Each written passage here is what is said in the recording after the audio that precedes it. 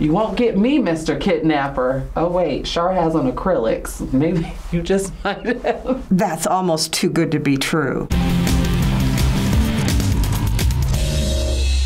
All right, so this is probably one of TikTok! solving the Rubik's Cube. I almost considered not sharing this with you guys. Pick it up and you just throw it on the floor. So you can solve any Rubik's Cube starting in any position Okay, I need to learn how to do this because my brother is gonna over again. You're gonna be like, what the the heck? Side, I think I saw this one. and then you're gonna turn the top clockwise, so it looks like this. And you're just gonna keep on repeating. I don't believe this. It's got to be in some kind of order that he put it in or something, right? No, but he switched it. This is a little sketch. And just keep going. Sometimes it takes a little longer than others. Clearly. He probably just sat there and did this for like 40 minutes or however long he did it. Oh. Pretty simple. Oh my gosh. Do you know how many hours I've probably spent in my life trying to do that? I just want to say this is sketch because I tried this and I was on the Rubik's Cube for like a good two hours. Did it work? No. This is how you make a homemade slushy. Ooh. Oh, that looks so refreshing right now. That's sealed. It's Freezer sealed. for two hours. Oh, I don't want to wait two hours. Make sure the drink has This does work, uh, but it might not work with all things. work. Don't you just tap it and flip it upside down? Tap it, Boom. and you see it slushify. Slushify. That's that's so weird. Cool. Just tap it. Boom. You got slush. I, that was believable. That one makes sense. That's just how the world works. I accidentally left a can of beer in the freezer, so I once had a beer slushy. it wasn't very good. Maybe I'll try that. I don't know if it's true, but I'll try it. Gotta show you guys how to get out zip ties in 60 seconds. Here we go. So That, like what you wear when they arrest you?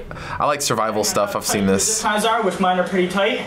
You're gonna try to put that aglet right. What's he doing with the shoestrings? The aglet's gonna pull itself out. He looks like he's struggling. This is too hard and will get you caught. See? It's through the other side. I tie my shoelaces together. Oh, and then because you do the- time. Ready? And what you do is The bicycle method, right? you go back and forth. Oh my god! You just burn through zip ties. Oh my god! That's brilliant! I've never been tied up with zip ties, but just in case. I don't see what situation you would be in where your hands are zip tied and you have access to your shoelaces, I guess. So we have more to show you in a second, but those were all some life hacks coming from the social media platform TikTok. Talk. Yeah. I definitely use TikTok. I was not a big fan of TikTok when it was Musical.ly, and then everyone was like, just download it, and I did, and now I'm like addicted, and I feel like that's everyone's story when it comes to TikTok. Well, we've covered a few different crafts and hacks here at FBE, but recently we have seen a rise of TikTok life hacks. So for this episode, we're gonna be showing you a few as well as having you try some out. Down. I love I love life hacks. Before we show you some more videos, we actually wanted to see if you could take on one of the hacks that you just saw. So we wanted to see if you can get out of some zip tie handcuffs by only using your shoelaces like you saw in the video. Okay, bet. I don't even remember the steps. Oh, they both go in here. Holy God. Okay, I think I got this. The hard part is like trying to put it through, I'm assuming. I'm like Indiana Jones. You won't get me, Mr. Kidnapper. Oh, wait, Shar has on acrylics. Maybe you just might have. How am I supposed to do this? See, it's falling out again. No, no, no! By the time I'm done with this, the, the freaking kidnapper's gonna come in. Oh, okay, this is serious. This is gonna change someone's life, Shar. Get it together. Oh, oh, oh, oh, okay. Okay. Oh, I think I got it. I'm gonna look so stupid.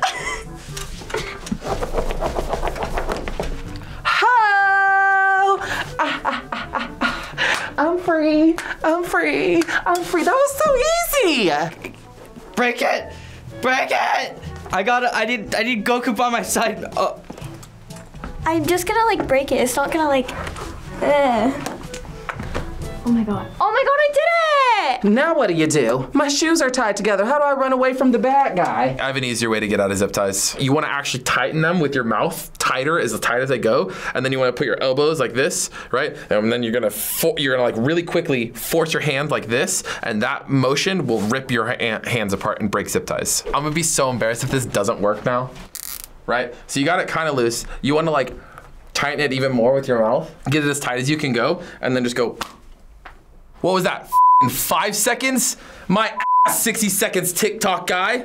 Is your expo pen dried out? Uh, always. Grab the nearest rope like Lanyard, you mean? tie it on nice and tight. Use gravity and Not gravity. doesn't hit you. Make sure you have Centrifugal force. Or centripetal force, actually. gravity. look at that. I believe it. Gravity! Now, see, that's another thing. That's so useful. It makes sense because you're spinning and it's it's making the ink, whatever's left in the marker, go to the tip. So that makes sense. That's nice to know. My teachers could really use that one. TikTok is just saving everyone.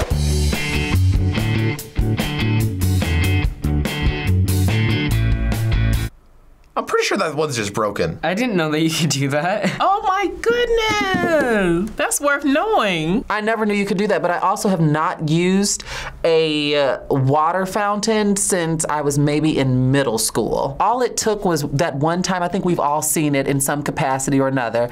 It's typically a boy that's coming from PE class and he puts his whole mouth over that little spigot thing for the. I was like, oh no. Shar's done with this. So it's nice in theory, but uh, I guess it's nice to know if you still use public water fountains. Not this girl, though. Best Starbucks. Order a venti and then three cups of ice. That is so smart. I like that. That's clever. Well, that's good to know, I guess. That's cool, but I just like drink the whole thing. Like I wouldn't share with my friends. Be like, get your own. You learn that too when you're young is don't order your cocktails over ice or with water because it tastes stronger. Sometimes they'll give you a little more liquor in it. I work as a barista. Most of the time when they ask for ice drinks, I fill the entire thing up with ice and then put the drink in because that saved like half the drink. Half the volume is now occupied by ice. Now for this round, we want to see if you can test out that Starbucks drink hack and let's see if it actually works. Okay. Yeah, I guess. I mean, that's you can do that at Jack in the Box. You can do that at I think it's McDonald's. All right.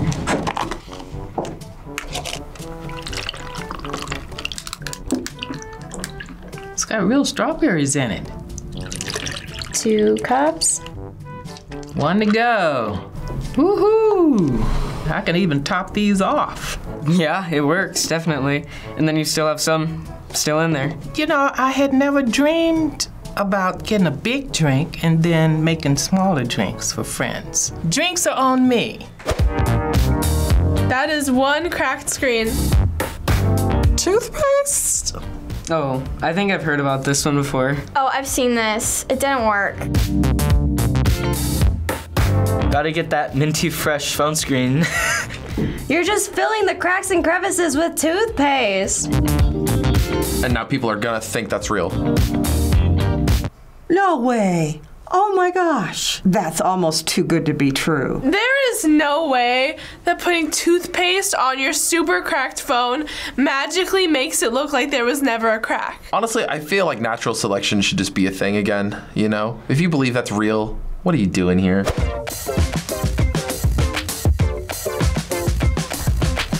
Hold on. Hold the phone.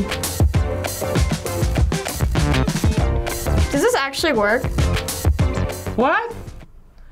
This is like a one size fit all universal remote? I don't believe that. I call BS. If Alexa's not doing it, there's no way that your little at home click a clacker is, is doing it. My friend, he said that he tried that out one time and then he was disappointed when nothing happened. When you want ice cream.